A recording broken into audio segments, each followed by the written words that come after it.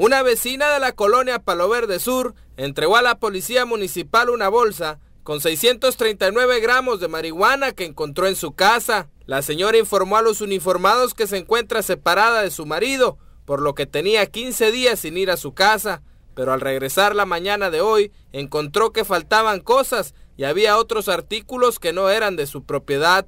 Dentro de las novedades, halló la bolsa de plástico con la droga, por lo que decidió solicitar la intervención de la policía, quienes aseguraron el enervante.